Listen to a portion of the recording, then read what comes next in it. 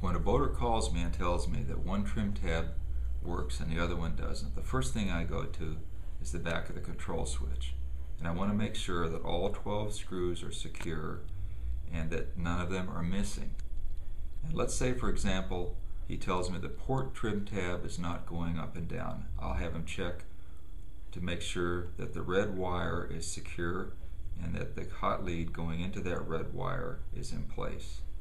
And then we're going to go back to the hydraulic power unit. And we've taken a uh, jumper wire and we've connected one end of it to the positive side of the battery. And we're going to go into the hydraulic power unit. We're going to unplug it from the wire harness and I'm going to put power directly to the green solenoid valve. We know that side's working, so let's hear, hear what that sounds like. You hear the click? That's a good solenoid valve. Now we're going to hit the red one and see if it works. You don't hear any sound. So what we're going to do next is replace the red solenoid valve.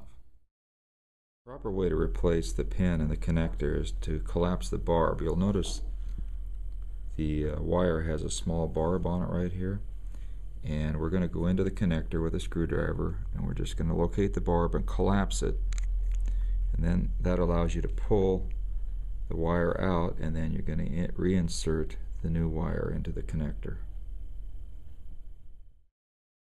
Now we're going to unscrew the solenoid valve from the hydraulic power unit.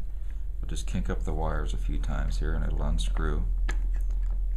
And then we're going to take the, the new solenoid valve We've already connected it into the wire harness.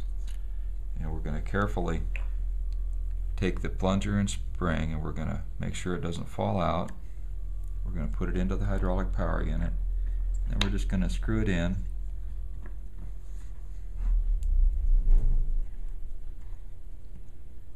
And then we're going to put it in just hand tight. We don't want to over tighten it.